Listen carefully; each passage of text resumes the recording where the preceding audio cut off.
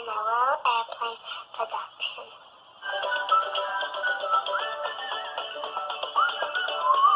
Ha ha ha!